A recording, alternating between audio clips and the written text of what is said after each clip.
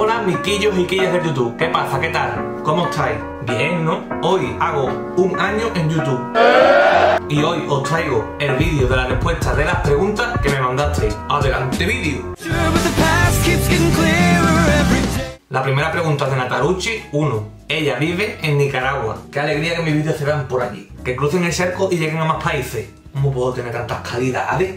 Bueno, la pregunta de Natalucci 1 es esta. Y aparte de vídeo, ¿qué más hace en la cuarentena?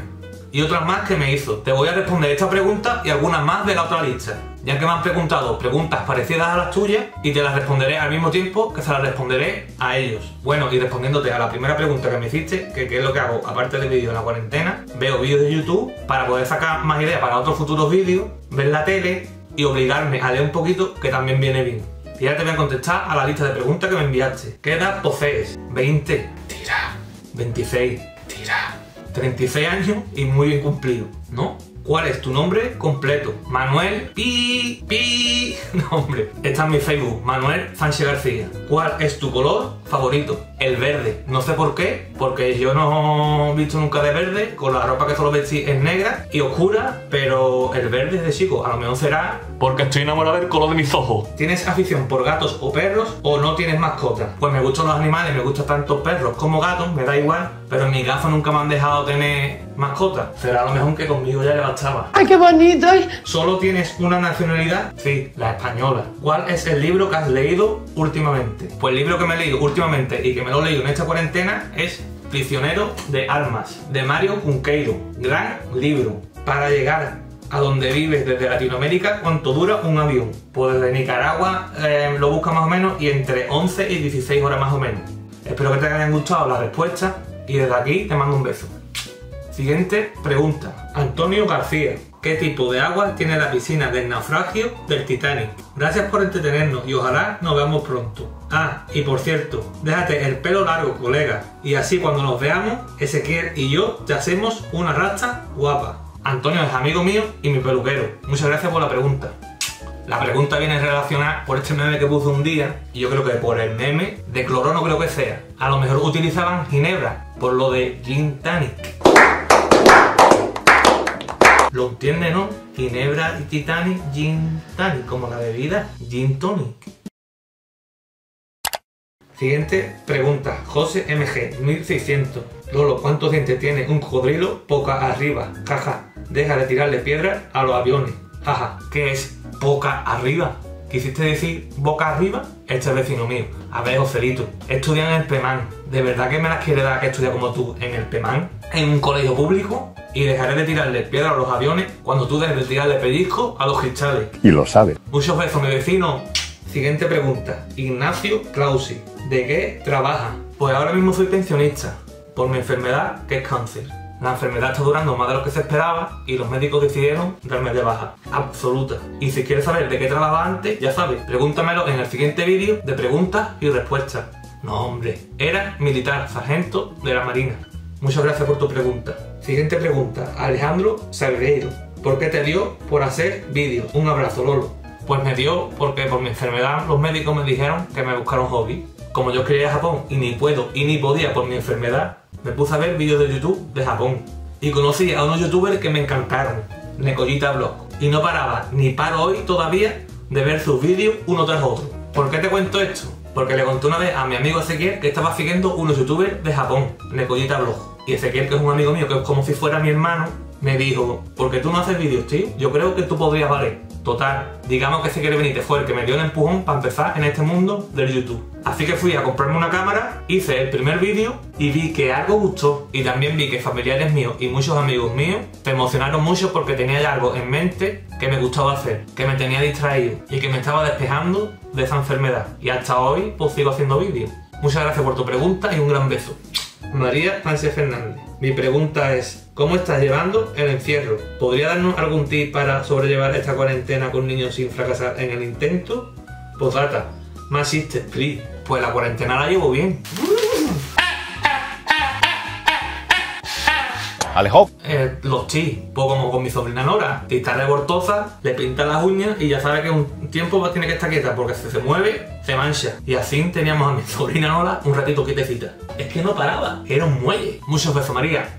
Siguiente pregunta, Alejandra Pérez Díaz. ¿Cuál cree que son los mejores valores que puede tener una persona? ¿Has hecho alguna vez daño sin querer y lo has sabido con el tiempo? Si es que sí, nos los cuenta. Diga así, espero tu próximo vídeo. Un saludo y cuídate mucho. Muchas gracias. Aquí también te mando otro saludo. Pues los mejores valores que puede tener una persona para mí es la humildad, el respeto y la sinceridad. Yo creo que con esos tres valores se puede llegar muy lejos en la vida. Y la pregunta si he hecho daño a alguien y lo sé con el tiempo, yo creo que no. Porque yo creo que cuando he hecho daño, no me ha faltado tiempo para saber que he hecho daño. Me he dado cuenta en el mismo momento o un ratito más tarde. Pero tanto tiempo, no. Y si he hecho daño, siempre intento hablar con esa persona.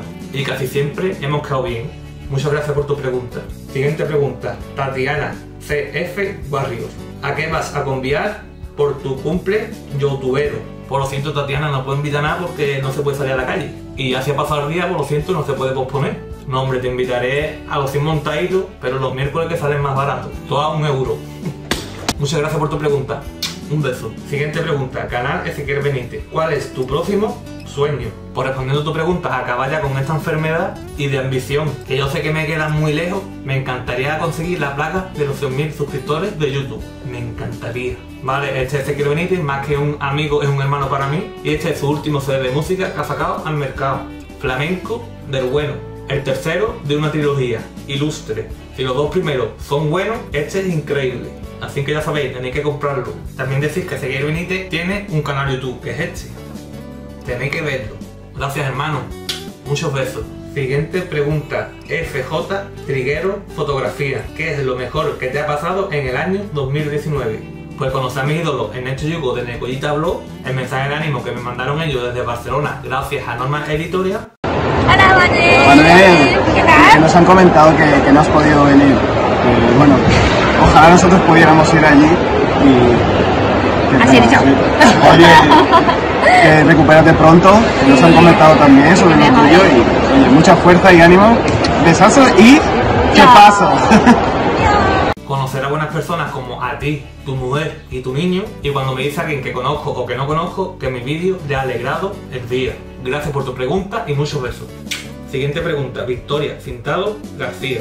Mi pregunta es, ¿cómo convences a tu padre para que lleve un año siendo tu ayudante y no te haya mandado a tomar por culo ya? No, la pregunta es, ¿cómo me convencí yo mismo para pedirle a mi padre ayuda para grabar los vídeos? Bueno, él me está ayudando a grabar algunos vídeos desde la cuarentena y es un torpón. Ya, ahora. Eh, Me, veo yo, Lolo. Le doy el móvil listo para que me grabe y yo no sé lo que hace, pero lo trastoca todo. Y su respuesta siempre es, si yo no he tocado nada. Muchas gracias por tu pregunta y desde aquí te mando muchos besos. Esto no es una pregunta, pero es la pura realidad. Javier Lobato, eres el mejor. Gracias Lobato, muchos besos.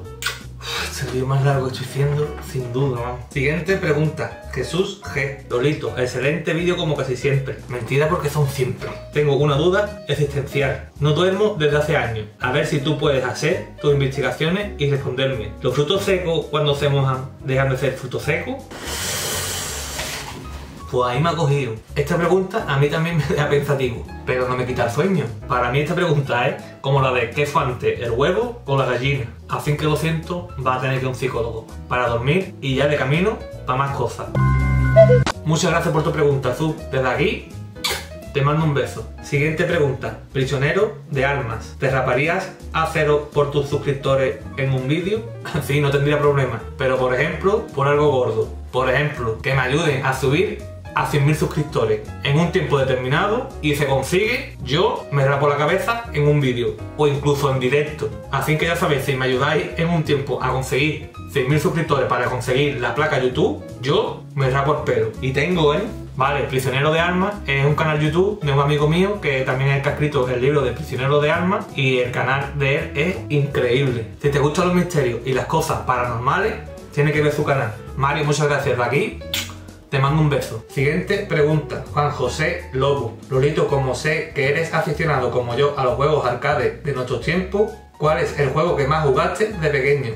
¿Y tú también soplabas a los cartuchos de la Nintendo? Por el juego que yo jugué más de pequeño yo creo que fue el Super Mario Bros. 1. Y sí, soplaba los cartuchos E incluso abría los cartuchos y le daba con arco. Y hasta hace poco en una imagen salía que era malo soplar los cartuchos.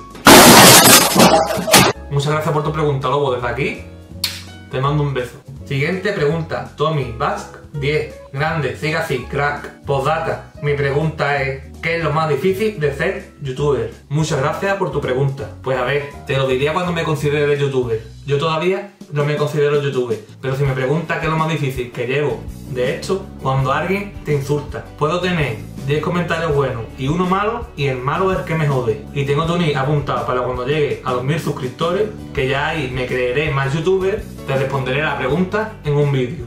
Muchas gracias por tu pregunta y un beso grande. Es más majo. Bueno, esto es todo, mi querido de Guilla. Si os ha gustado este vídeo de preguntas y respuestas, dale un buen like, suscríbete a mi canal, dejadme en los comentarios qué os ha parecido, dale a la campana para cuando suba otro vídeo os avise y nos vemos